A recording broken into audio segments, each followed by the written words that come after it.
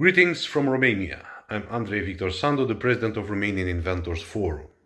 It's a great honor for us and joy to be again a role model at INOVA Croatia. This year in 2022, more than ever, Romanian inventors will be there presenting exclusive ideas from all the fields. Once again, I want to congratulate the INOVA team for doing such a great work and keep united the WIPA family. Be the role model because this is the future. Your idea could brighten your future days and could create a more secure and healthier life for all of us. Good luck to everybody and see you soon.